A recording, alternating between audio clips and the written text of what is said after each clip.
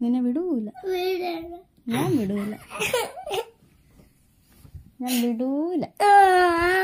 അല്ല അവിടെ നിൽക്ക് പൊന്നിന് അംഗൻവാടി പോണോ? പോണോ? ഇന്ന് പോണ്ട. പോവണ്ട.